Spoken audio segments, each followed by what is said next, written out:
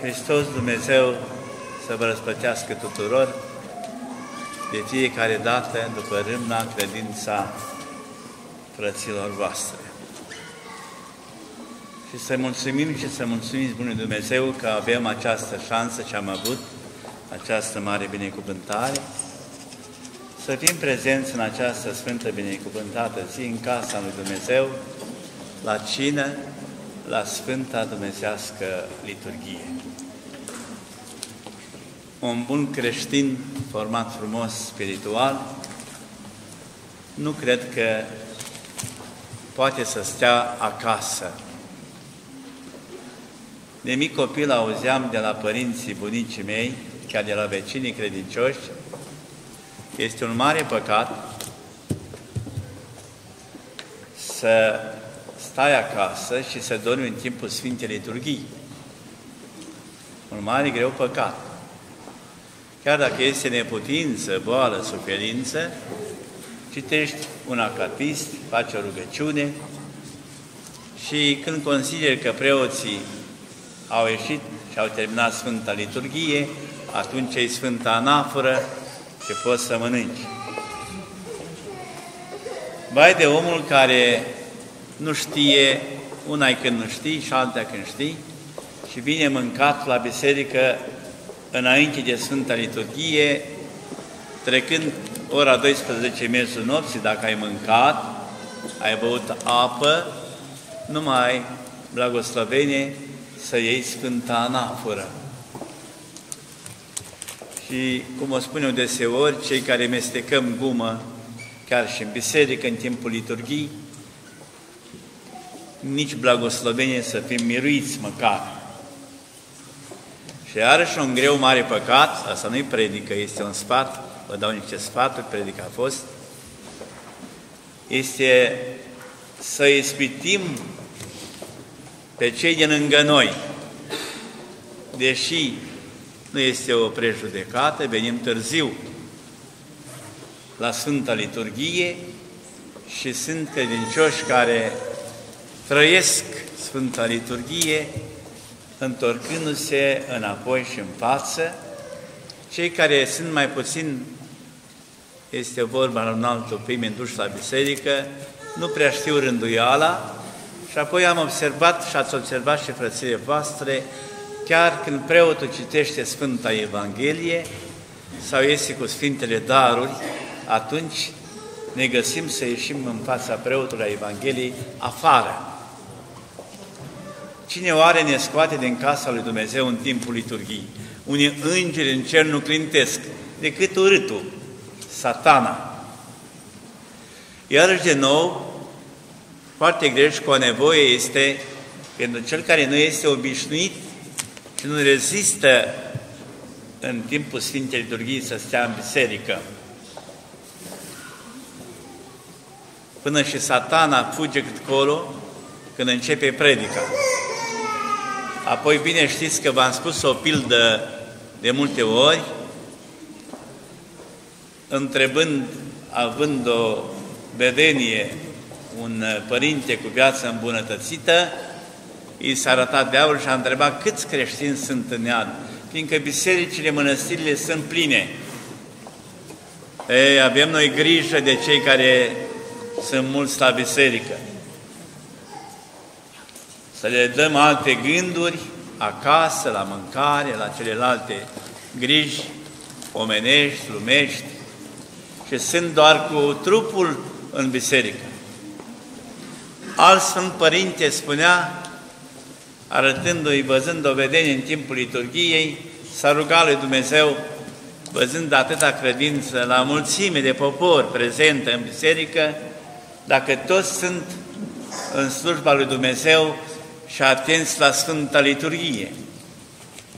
Și arătându-i vrăjmașul în biserică, văzând cu ochii lui cât de puțini sunt cei care sunt atenți cu gândul curat la Dumnezeu și cât de mulți sunt pe cei care înșală satana. Ei bine, acum, când te rogi mult, când ești în slujba lui Dumnezeu, atunci vin încercări mult mai multe ispite mult mai multe, să nu ne așteptăm când postim și ne facem canonul și pravila, că vom avea pace și liniște. E bine, călătoria aceasta spre urcușul acesta, spre mântuire, este foarte greu și cu a nevoie de urcat. Câtă muncă trebuie, câtă rugăciune, post, metanie, canon, să te apropii de Dumnezeu, să fii împăcat cu Dumnezeu și în slujba lui Dumnezeu. Cât de repede se face un păcat și cum spuneam deseori că diavolul bagă în păcat în întuneric. Întunericul este păcatul. Diagnosticul care am spus, boala, suferința, încercările noastre este păcatul. Dar Dumnezeu este iubire, dar să nu profităm de iubirea lui Dumnezeu. Dumnezeu ne dă deseori șanse multe. Ați văzut că ne atenționează. Prin ce? Prin boală. Ori îți trimite pe cineva care nu el decât Domnul Dumnezeu, ci satana, să te neliniștească un vecin care este cu rău asupra ta, cu invidie, cum spunea și în cuvântul de astăzi. El nu se bucură niciodată când te rogi, când te duci la biserică, când ești cu trăire, când ești în slujba lui Dumnezeu. Mai tot timpul îți pregătește cursele lui care le are.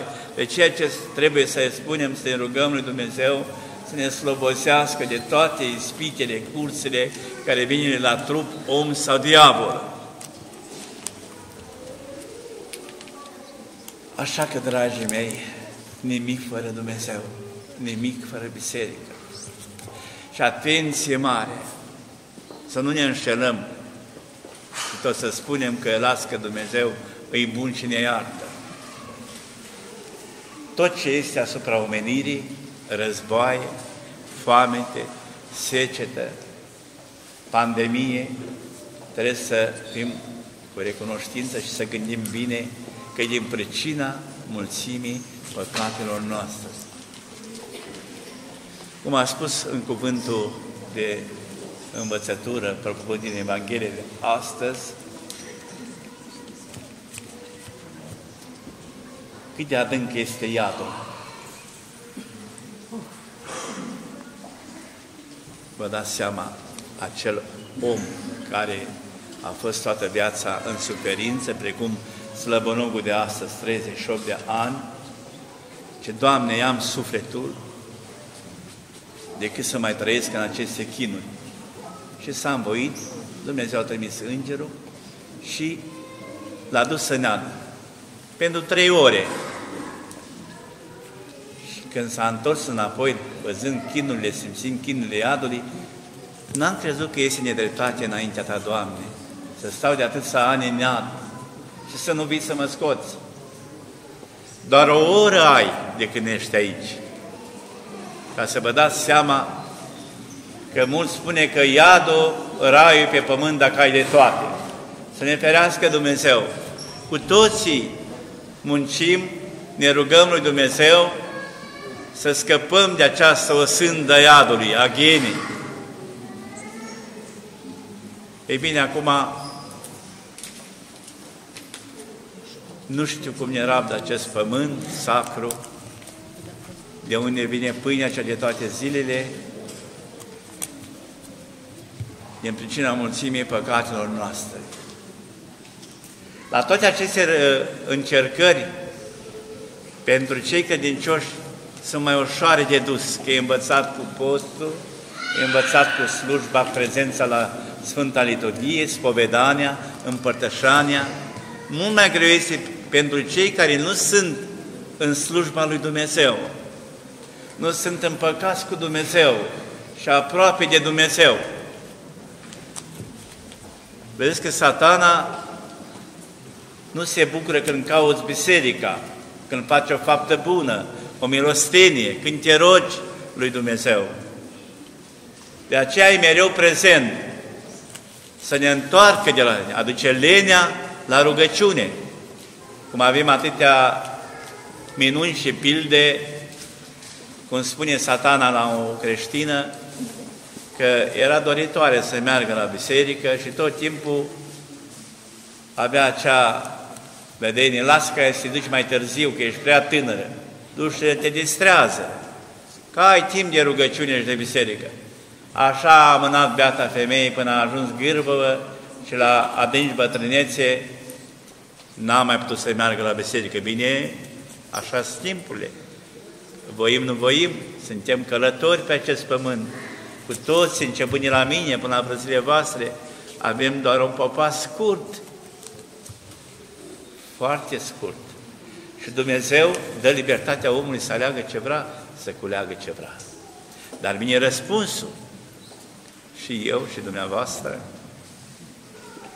trebuie să dăm răspuns lui Dumnezeu ce am făcut și cum am prețit timpul și viața noastră. Moartea vine ca furul și ca tâlharul. Auzim, ne sculăm dimineața, auzim că vecinul nostru nu mai există. Că a murit tata, mama, sora, fratele, fără pregătire.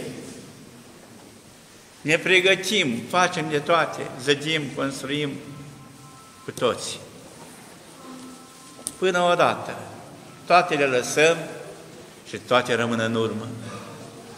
Bogăția este cum ne-am format sufletul nostru. Ei bine, se spune că acest trup este hoit, că e plin de păcate, dar totodată este templul sufletului nostru.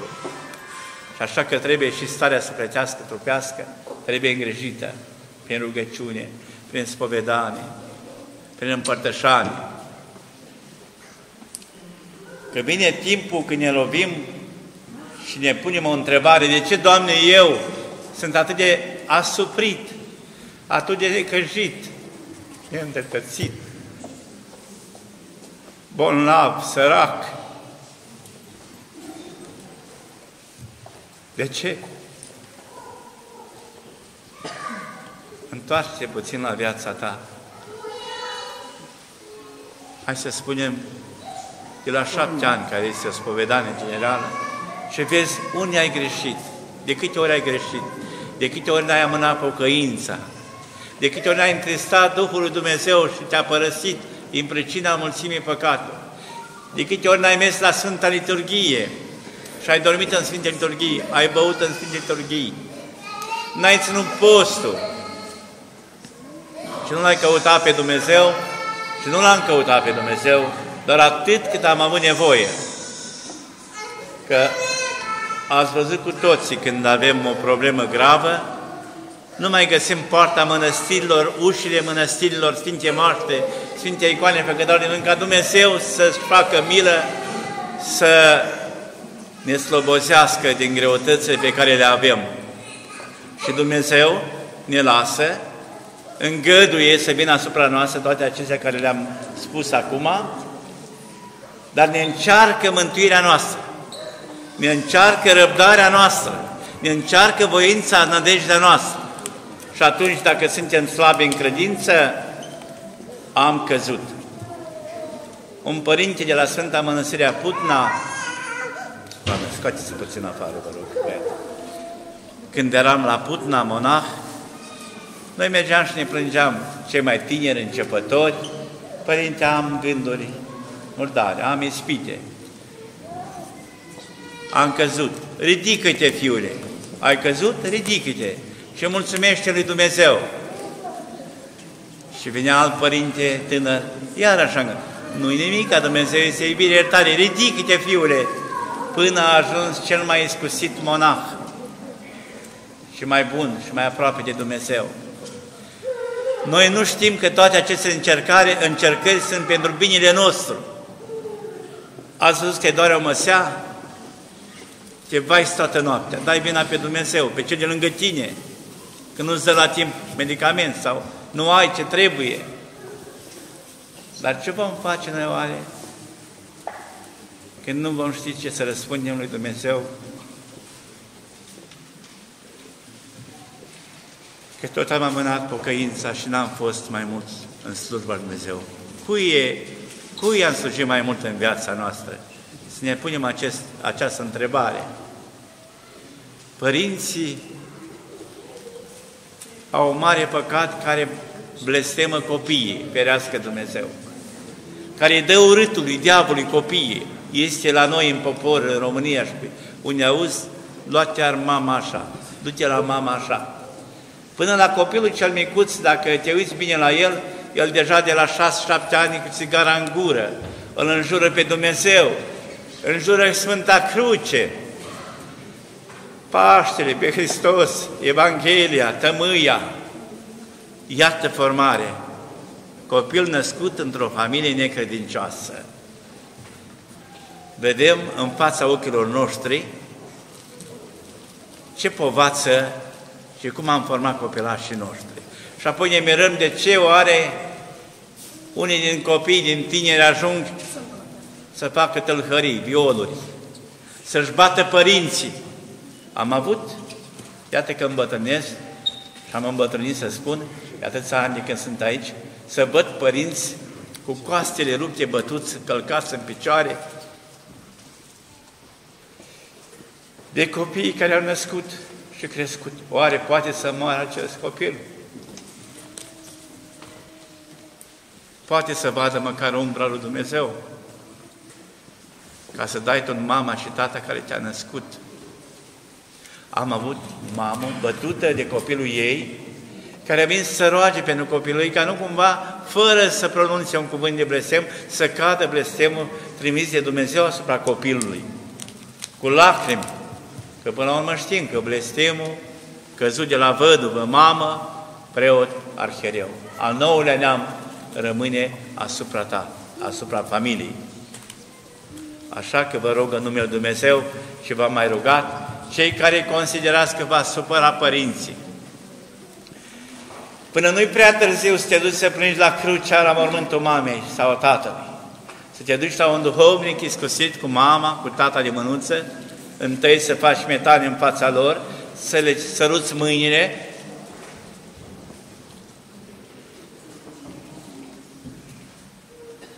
și să cer binecuvântare. Mamă, dezleagă-mă de păcatele care le-am făcut și te-am chinuit și te-am supărat și te-am amărât.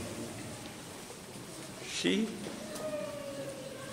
vei simți o ușurare, o slobozire.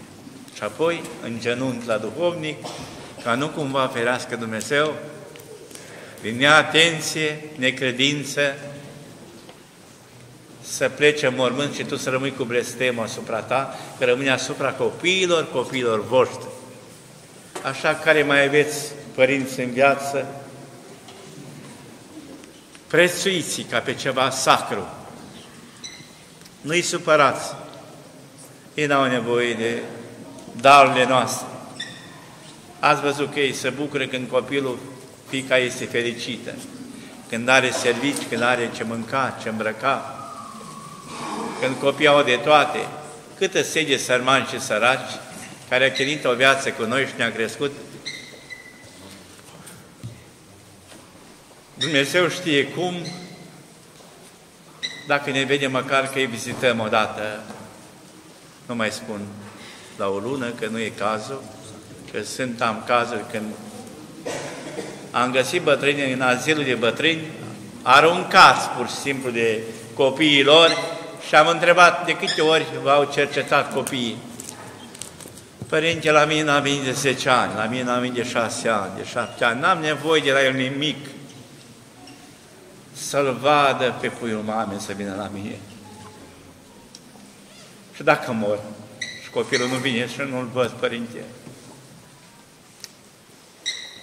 Și am mai spus eu odată, la alt azil, văd o bătrânică adusă chiar atunci, când am fost acolo la, o, să fac un praznic, 90 de ani, care era doar chipul, ochii ești afară.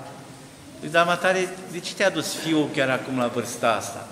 Păi părinte și-a adus, și-a luat soția a treia. Și a zis că n-are nevoie de soacră, și ea nu vine să caute pe soacră. Dacă mă vrea, o vrea pe ea, să o dea afară pe soacră. Și a luat și a urcat o frumușă în mașină și a dus-o în azil. Și a mai trăit două luni și a murit sărmana. Parcă o văd cum plângea. Hei, Dumnezeu întârzie fiilor, dar nu uită. Nu uită. Toate acestea ne vor ajunge din urmă. De scos sabia, de sabia îți va fi moartea. Și mai am eu o pildă foarte care ne-a rămas în suflet vie. Un tânăr nu se căsătorea din cauza că îl avea pe tatăl lui încă în viață. Și când să facă nunta, da, s-a învoit că se duce după el, dar să-și dea afară pe tatăl lui, că apoi vine după el. Poate să căsătorească el. Și a stat el pe gânduri așa puțin el, dar nu mult. L-a luat de un braț și hai tată. Dar unde mă duci, fiule? Unde știi? Eu trebuie să-mi fac viața. L-a dus la o mare de pădure și era un deal mare. Și văzură niște stânci acolo mai mari, petre. Fiule, te rog frumos. A început a plânge. Dar de ce plângi, tata, acum și n-ai plâns când te-am scos din casă? Păi, fiule, du-mă tu pe piatra aia acolo, vezi unde? Da. Acolo l-am dus și eu pe tatăl meu. Așa că gândiți-vă bine. Cinstiți părinții care v-au născut și crescut. Că veți trăi mulți ani fericiți și binecuvântați de Dumnezeu. Cinstiți părinții care v-au născut și crescut.